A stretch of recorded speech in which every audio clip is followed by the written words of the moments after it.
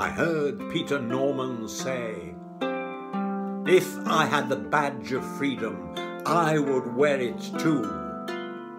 Give me the badge of freedom, and I will stand with you.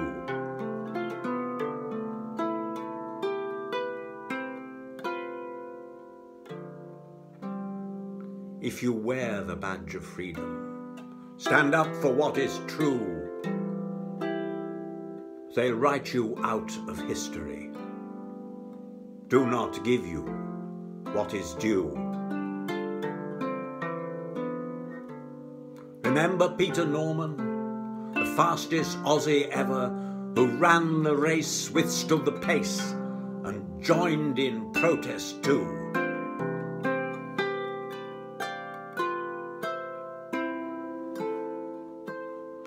Peter got the badge of freedom wore it on that night, on that Olympic podium. Two black men and one white, standing up for freedom, standing up for right.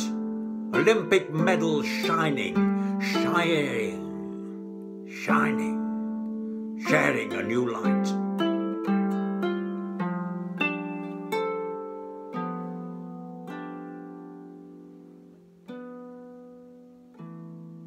But the singing turned to silence when the spectators saw the shining face of freedom challenge their prejudice and fear.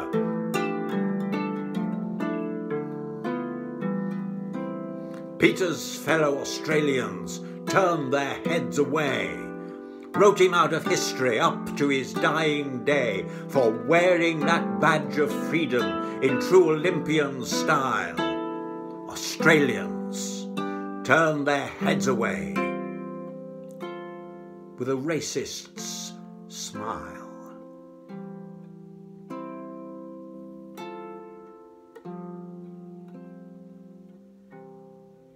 Peter Norman was his name the fastest man in Australia, a name that stands for freedom and Australia's undying shame. And Peter Norman said, if I had the badge of freedom, I would wear it too. Give me the badge of freedom and I will stand with you.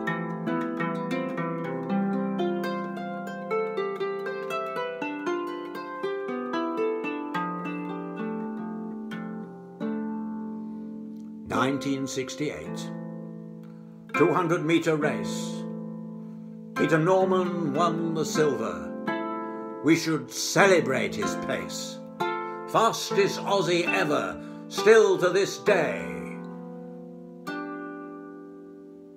but he wore the badge of freedom. And there was hell to pay.